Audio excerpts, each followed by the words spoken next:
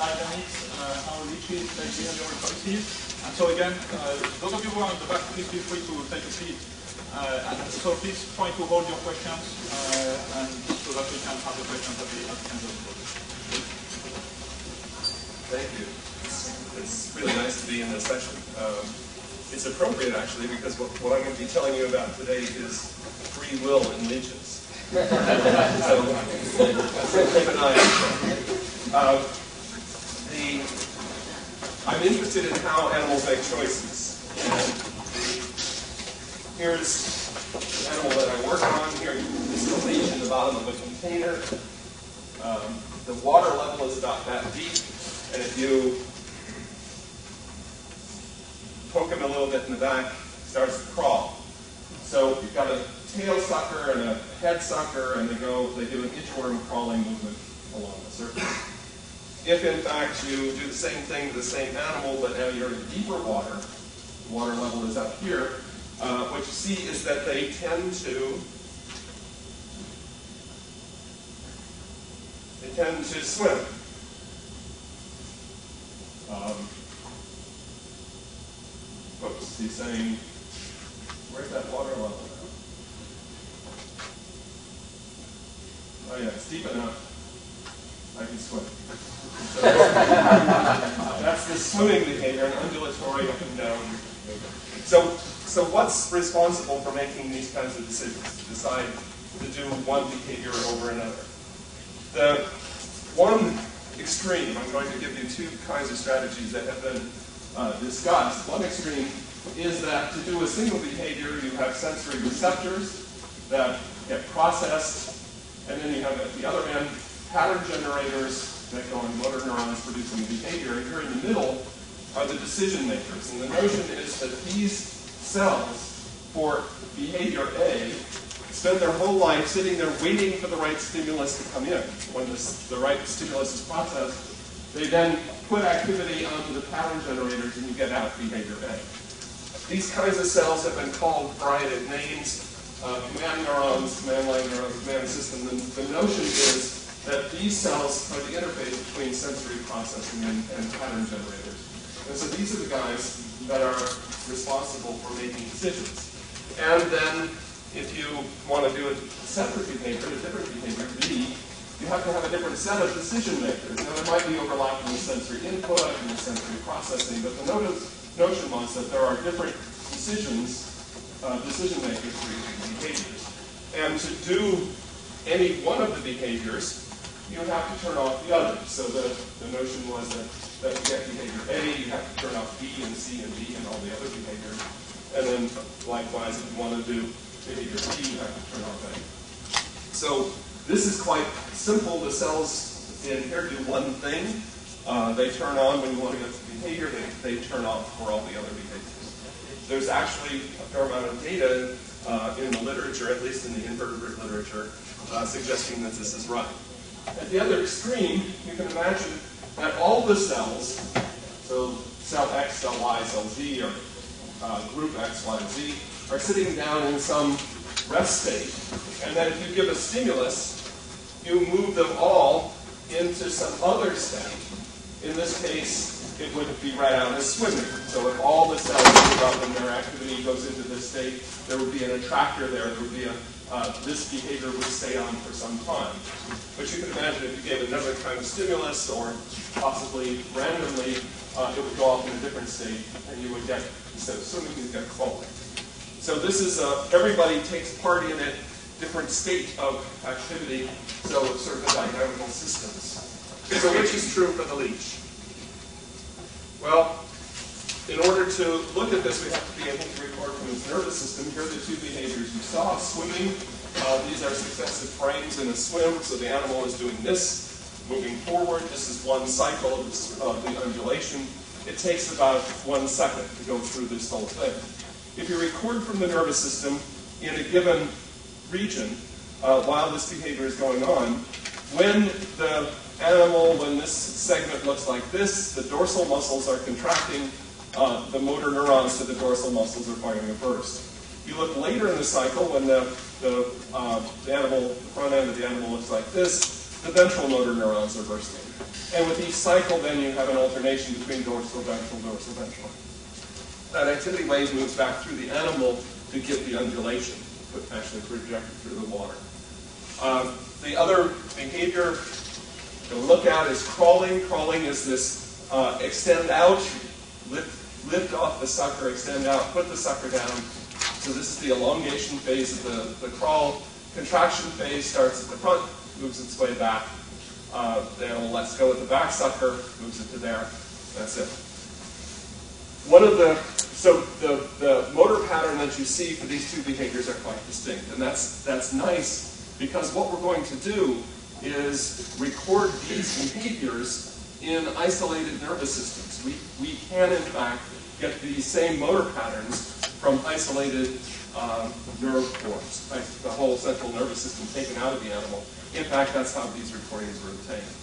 So I'm going to show you a bit about its uh, nervous system um, to make the points. Uh, it has a ventral nerve cord. It's got a brain at the front end, a brain at the back end, the brain in the front is bigger than the brain in the back, like some politicians and then there are 21 segmental ganglia that all look pretty much the same. Uh, to give you an idea, this is what, what a ganglion really looks like. These round things are uh, the cell bodies. There's about 400 cells uh, in the ganglion. Um, they're bilaterally symmetric so that the cells on this side and the cells on that side are the same. So the unit within the nervous system, the unit of function is 200. And if you look from segment to segment, the ganglia look pretty much the same. So if you find a cell in here, you'll find it back there. I know that's true for this diagram because that's just a duplicate of that. they look pretty much the same. Um, so then, how do you, how are we going to study decision making? Well, we do it by giving an ambiguous stimulus. We give a stimulus that produces a behavior, but sometimes it produces swimming, and sometimes it produces crawling. So the, the nervous system was taken out of the animal, from the head brain the tail brain, record from the, uh, stimulate in one of the segments, record the motor activity from another one, and then we're also going to do something a little fancier. We're going to, we're going to do optical imaging so that we can record the activity of individual cells, a lot of them at once. But for the moment, uh, the idea is that we can stimulate the same place with exactly the same stimuli again and again. And in this case, so this is 12 seconds long. Uh, nothing was happening here. An electrical stimulus was given for a half second, and then the activity picked up, and then it became swimming. So we can tell that swimming is taking place here. Wait three minutes uh, so everything settles down again, get exactly the same stimulus, but now this time, instead of getting swimming, got crawling. This would repeat at about 10 second intervals. Right? So we, we can distinguish these two behaviors. We'd like to know what's going on in this animal's nervous system in this time when it's deciding, when it's making the decision to either swim or to crawl. So when does that take place? Sometime during those times. Uh, this is to give you an idea that if you give this uh, stimulus again and again and again, uh, sometimes you get crawling, sometimes you get swimming. They tend to, to be random. We can't see a pattern in which comes with which. And you can see there's some variability in the onset of the, uh, the swimming behavior, the onset of the crawling behavior, but they're distinguishable. All right.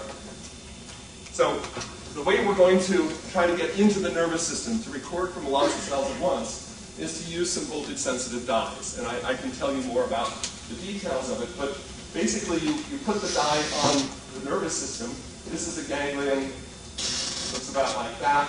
This is about a quarter of the cells on that surface of the ganglion. You can see the cell bodies. And what was done was to draw circles around these images on the, on the, um, the digitized version of them and everything within that circle got um, averaged, and then the average value was given to all the pixels within them. And when the cell depolarized, there was more fluorescence. When the cell hyperpolarized, there was less fluorescence. This was polarized, so depolarization is going to be yellow, hyperpolarization is going to be and if we are real quiet, we can hear, we'll hear the bursting, motor neuron bursting, that is the dorsal burst. So, so the, when you hear a burst, that would mean that the animal is doing that. And then it relaxes and, and then it does that. So let's.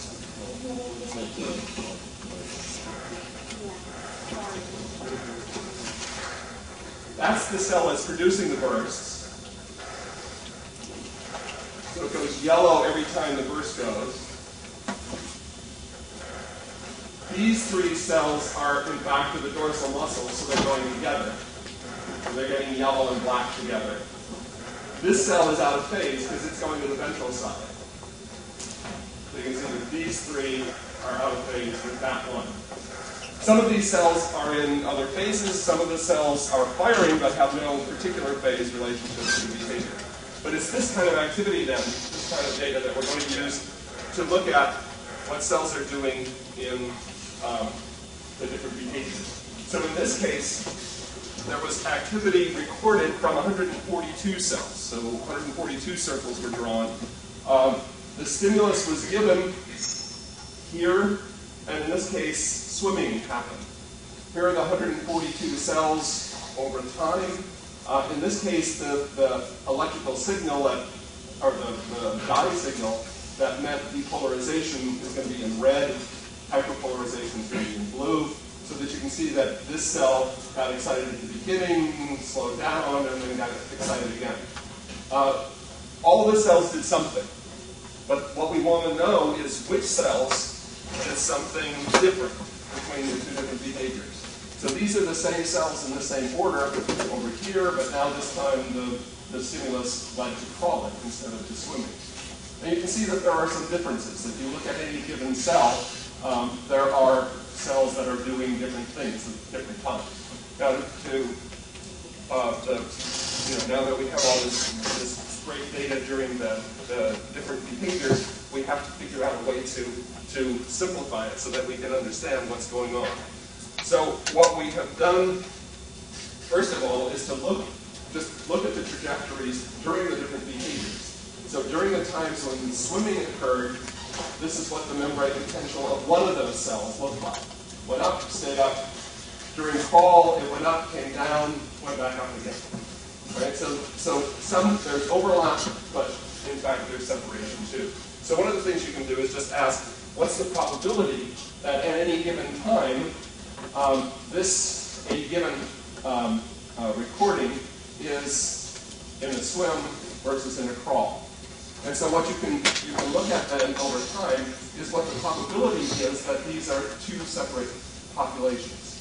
And what you can see is what, what looks obvious in looking at it is that there's clean separation here, uh, and then they come back together, and then there seems to be somewhat of a separation here, and sure enough, the p-values go from very high down to uh, 001 uh, down here, and they stay low, and then they come back up again when these overlap and go back down. Okay? So, so you can you can ask them uh, where is the separation over this time. You can do this for all the cells that we can record from, and you can then line up which ones have a p-value of uh, uh, less than 0.01 uh, at which times. So this is the 10 seconds, uh, the same time period as was looked at here. And you can see that some of them um, become different early, some of them become different later. Some of them never become different. So some of the cells, half the cells in the ganglion, do the same thing in both behaviors. The other half show a distinction, and that distinction uh, occurs at different times. This green line is when we can tell from the extracellular recordings that there was a difference. That is, that swimming occurred as opposed to, to crawling. And so this is just taking each of these cells and dropping it down to show you when, how many cells are different at which times. Right? So, so the cells that we're most interested in are the ones that show a distinction, but that show the distinction earliest, because those are the ones that could be involved in making the decision. And so we, we asked, when was that earliest distinction made? Well, there are a few cells here that make it quite early, but we wanted to see whether using that we could find even earlier cells. And so we, we applied a linear discriminant analysis to it. And basically what that does is to take the trajectory of each of the cells, two at a time, so then you can do to the third and the fourth, the fifth, the 141st cell. And you want to on, on this plot of their trajectories of cell 1 versus cell 2, which is shown here, uh, you want to draw a line, linear discriminant uh, number 1, which, when you project all of these points onto it, give the best separation. So if you, if you had a line like this, it wouldn't be a very good projection. If you had a line like that, it wouldn't be a good projection. This line separates these two the best. What that allows us to do then is to look at these earlier times. So what we did was to take all of the cells, um, their projections, and look at and, and derive the linear discriminant during the time when they were when most of the cells were clearly distinctly different during this uh, sort of goofy green looking color. And then you can ask how early you, you can then take these discriminants and take all the cells and look earlier in time and see whether you can, find a threshold for them. And in fact, you can. So you can you can find earlier times than you can tell from any of the cells by themselves. And then you can ask which cells, which of the 141 cells, 145 cells, um, contributed to the slope of that line. If the line is, is straight up and down, then that slope doesn't help you discriminate. If, this, uh, if it's at 45 degrees, it'll, it'll give you the, the more of the slope, the more the cell contributes to the discrimination. And so cells like this, or a cell like this, or a cell like that, cell like that, is contributing a lot to the discrimination. We can then project this back onto the, the um, uh, picture of the ganglion, and we can ask which cells show the best discrimination. And so it could be either negative or positive, depends on whether the, the trajectory is going up or down.